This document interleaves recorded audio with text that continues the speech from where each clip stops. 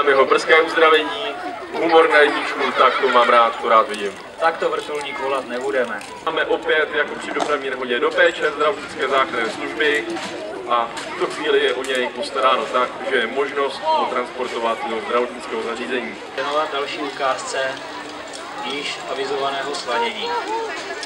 Nebo výstupu. No, ono to vypadá spíš na ten výstup. Eh, Začneme tím těžším, to znamená výstupem. Eh, Vidíte tam toho kolegu, jak se tam chystá? Zkušený kolega, který naprosto přesně ví, co dělá a vidíte, s jakou elegancí, jak lehce se lze dostat nahoru. No, to má nějaký držátka se zoubkama, který se zakousnou do toho lana a krásně se to krásně se pak hasič posunuje nahoru. Kluk potřebuji potleskem. Vidíte, že vám děkuje. A Výborně, a máme tam ještě jednoho. Specialista výstřel a hasiči běží k věži.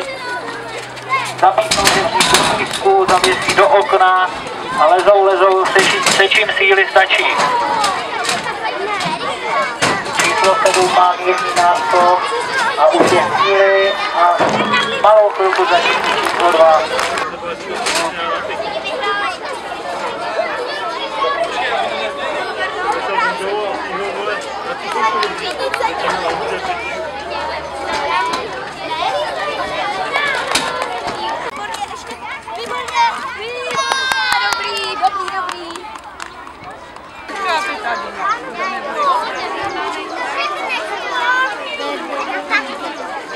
Atacala, atacala.